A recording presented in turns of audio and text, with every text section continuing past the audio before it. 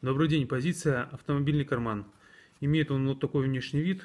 Идет он в разобранном виде в упаковке. После сборки он выглядит так. То есть он предназначен для хранения, возможно, телефонов,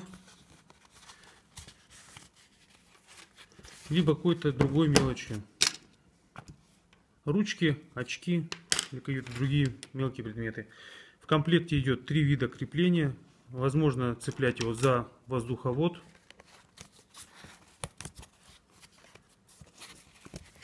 либо с помощью двустороннего скотча цепляется на панель, либо с помощью какого-то либо крепления